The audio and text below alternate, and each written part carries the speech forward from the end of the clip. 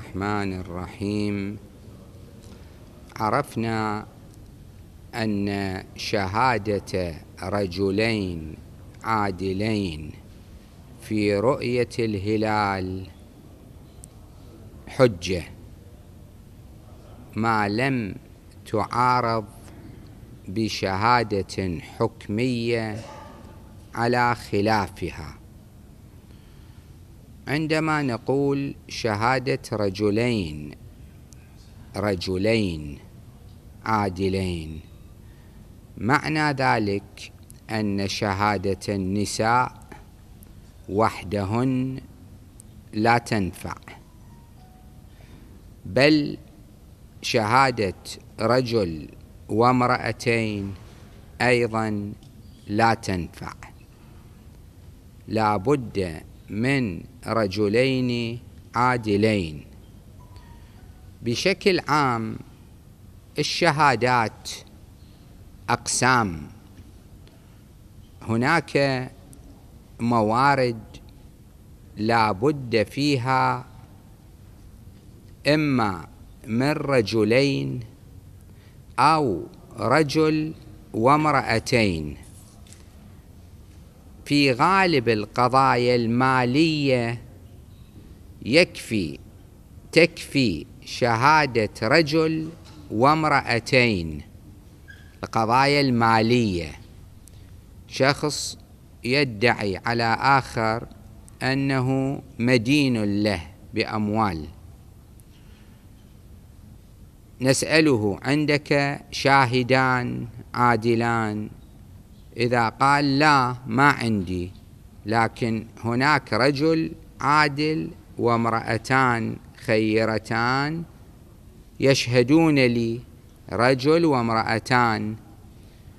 بما أن القضية قضية أموال تكفي فيها شهادة رجل وامرأتين. لا دائما لكن بشكل غالبي. أو مثلا شخص يقول فلان أتلف لي بضاعتي ضربني وصار صارت لي عليه دية أموال أتلف بضاعتي صار ضامنا لي بأموال. إذا أتى برجل وامرأتين تمضي الشهادة. طبعا الرجلان أكيد تمضي شهادتهما هنا في الماليات. في غير القضايا المالية شهادة رجل وامرأتين لا تنفع. لا بد من رجلين. في غير القضايا المالية مثلا شخص يقول فلان قذفني. القذف أن يتهمه بكذا يقول له أنت فعلت كذا الشيء الفلاني نعوذ بالله الفاحشة. آه قذفني. القذف حرام والآن نقول له منو قال؟ ذاك ينكر يقول أنا ما قذفته. هذا الشخص المقذوف المفروض أنه مقذوف. لو أتى بشاهدين يشهدان على أن فلانا قذفه. خلص رجل رجلان. لو أتى برجل وامرأتين لا ينفع. يجيب رجل رجلين عادلين يثبت فيقام الحد على ذاك القاذف. وحده ثمانون جلدة. ومنها رؤية الهلال. الهلال آه، الشهادة برؤيته ليست قضية ترتبط بالأموال فلا بد في ثبوته من رجلين. ممكن خمس نسوان يجون سبعة عشرة. ما تنفع شهادتهن شيئا. إلا إلا إذا كثرن بحيث حصل الاطمئنان أو حصل القطع. القطع والاطمئنان هما حجة من أي شيء حصل يعني أحيانا واحد يعرف زوجته يدري هذه خشمرة مؤمنة تدقق آه، ما تتكلم كلام من دون تبصر. هي هذه زوجته أو بنته أخته؟ تقول له أنا شفت الهلال. بحيث يحصل له يقين اطمئنان. خلص الاطمئنان اليقين حجة. ممكن ولد صغير يقول له الكلام هو يعرفه هذا ابنه مثلا. يعرف هذا مدقق ويفحص وكذا. لما قال الكلمة خلص صار عنده يقين. اليقين ما في كلام هو حجة.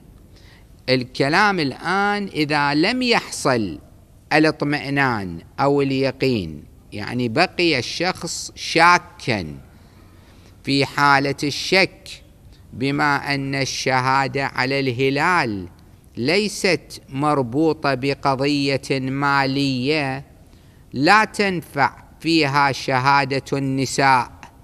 ولا شهادة رجل وامرأتين. لا بد من شهادة رجلين عادلين.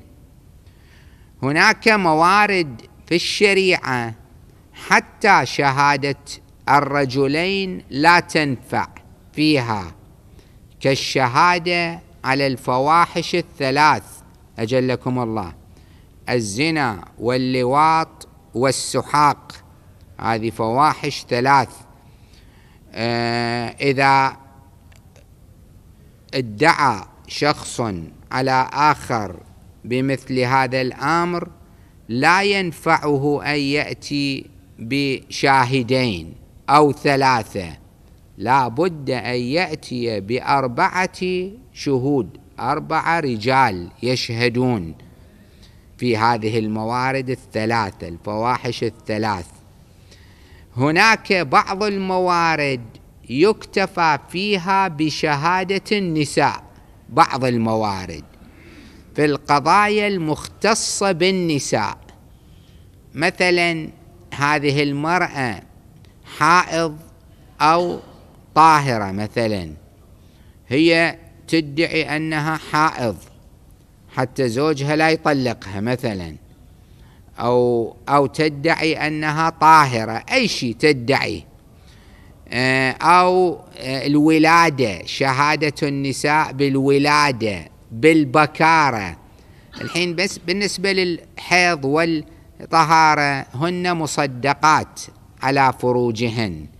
لكن بالنسبة للولادة أن هذه المرأة ولدت هذا الطفل فعلا هذا الطفل تابع لهالمرأة. يصير أحيانا اشتباه. مثلا بعض المستشفيات مستشفيات الولادة عشرين مرة منيميهم على الأسرة أو صرنا يلدنا. كل خمس دقائق عشر دقائق وحدة ولدت. ويجون ذولا يأخذون الطفل وكذا. بالأثناء صار تنازع. وحدة تقول هذا الولد ابني هذيك أخذته. هذيك تقول لا هذا ابني أنا وهالبنيه مالت ذيك مثلا. يصير هالشكل تنازع. زين هل آه هنا ما في رجال يولدون؟ أكو رجال يولد مرة؟ هاي وين صايرة هذه؟ اليوم فوضى صايرة القضية ولا رجل يولد مرة؟ شلون كلام؟ شلون آه منكر عظيم؟ لكن من أحيانا المنكر لما يشيع بطريقة يصير كأنه شيء عادي. المعروف يصير منكر والمنكر معروف ولا رجال يولد مرة بأي مناسبة. على كل النساء يولدن المرأة. فلو فرض آه، أكو نساء أربعة قوابل. القابلة اللي كانت تجي تولد نسوة مؤمنات شهدنا أنه هذا الطفل ولدته هذه المرأة. تقبل شهادتهن. في الوصية وارد, وارد نص. أنه إذا شهدت أربع نسوة بأن فلانا أوصى بمثلا ألف دينار لفلان. قال شهدنا النسوان بناته زوجته أمه الحريم الموجودين. فلان توفي بناته شهدنا أنه هذا وصى لأي واحد وصى لفلانة من بناته أو لفلان بكذا مبلغا. فيها نص أن شهادة النساء في الوصية تقبل. والرواية لطيفة مضمونها أنه فرضنا الشهادة بألف دينار. مثلا يشهدون النساء الأربع بأنه هذا موصي بألف. لو فرضنا ثلاث نساء شهدنا قالوا إيه موصي بألف ثلاث نساء. الرواية تقول يعطوه ثلاثة أرباع. 750 دينار. زين حريم اثنين يعطوه نص. هم يشهدون بألف يعطوه 500 وحدة تشهد يعطوه ربع 250 هي قاعدة تشهد بالألف والثنتين يشهدون بالألف والثلاثة يشهدن بالألف. هو لو ألف أكو لو هي مو 250 ولا 500 ولا 750 هو لو موصي بالألف لو مو موصي. لكن للدليل الخاص لوجود دليل أن النساء إذا شهدنا في الوصية أربعة تثبت الوصية كاملة ثلاثة يثبت ثلاثة أرباعها اثنتان يثبت نصفها واحدة يثبت ربعها تعبد تعبد صرف. طيب هناك موارد يعني تلاحظون كم مورد صار؟ أحيانا رجل وامرأتان في أغلب الماليات. رجلان في القضايا الكثيرة أغلب القضايا الخارجية اللي ما ترتبط بالماليات. آه، أربع رجال في الفواحش الثلاث. نساء في بعض القضايا المختصة بالنساء. واحد ماخذ مرة عقب ما أخذها اجى يدعي أن هذه مو بكر كانت. زين يريدون يفحصوها من يفحصها؟ هو مو رجال يفحصها نساء يفحصنها. مثلا في البكارة وما شاكل الأمور المختصة بالنساء. تقبل شهادة النساء. وفي الوصية قلنا للدليل الخاص هناك مورد تقبل فيه شهادة مجموعة من الرجال ولو لم يكونوا عدولا ولو لم يكونوا عدولا إذا أقسموا حلفوا خمسين قسم خمسين يمينا. وين؟ في الدماء. الدماء مهمة. واحد مقتول شخص مقتول طايح بالشارع لقوه. والتهمة متوجهة لفلان. اكو آه، ايدي الاتهام يقولون هذا فلان كان عنده مشكلة وياه على الاغلب هو هم ما شافوا أهل الميت ما شافوا آه، اكو لوث في لوث على هذا. يعني وما قدروا يجيبون شاهدين عادلين. لقوا أهل الشارع أهل الدكاكين قالوا إيه إحنا شفنا فلان قتله. هؤلاء حتى لو لم يكونوا عدولا إذا أقسموا خمسين يمينا يسموهم قسامة وبعضهم يقول قسامة بس الفصيح قسامة بالتخفيف. خمسين قسم خمسين مرة والله تثبت. خمسين قسم. زين. خمسين قسم. مرة هم خمسين نفر. حصلوا لهم خمسين نفر. الشارع العام كانوا واقفين وشافوا فلان قتل فلان. إجوا خمسين نفر ما نعرفهم مو عدول لكن كل واحد قاعد يقسم. صاروا خمسين قسم. ثبت القتل. زين ما حصلنا خمسين نفر. حصلنا خمسة وعشرين.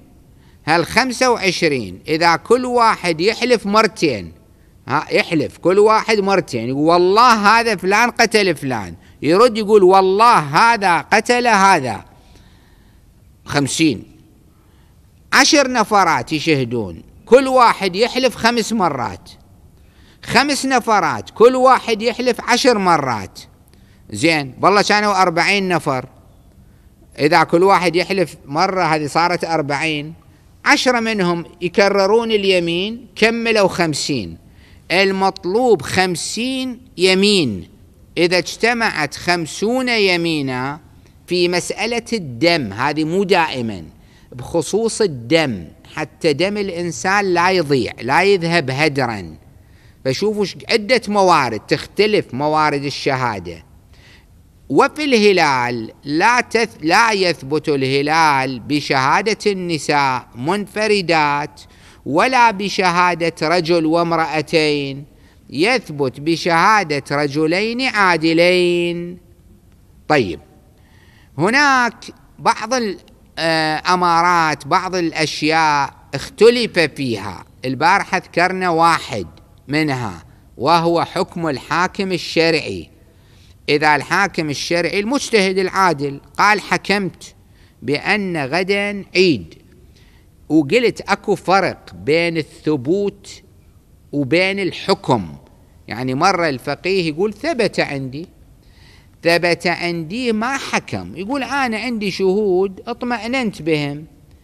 الطرف اللي قاعد يسمع إذا فعلا اطمأن بقول هذا الشخص العالم جيد. وقد ما يطمئن يقول له مولانا أنت منو شهد عندك؟ يقول له فلان وفلان يقول له ذولا أنا أعرفهم أنا ذولا ما أقبل شهادتهم. يقولوا له مو هذا العالم الكبير ثبت عنده؟ يقول إي هو ما يعرفهم أنا أعرفهم. مثلا ليس ملزما أن يأخذ بما ثبت عند العالم. نعم الآن نفترض العالم صدر حكم قال حكمت حكمت بأن غدا عيد. بعض الفقهاء قايلين إيه حكم الحاكم الشرعي نافذ مطلقة.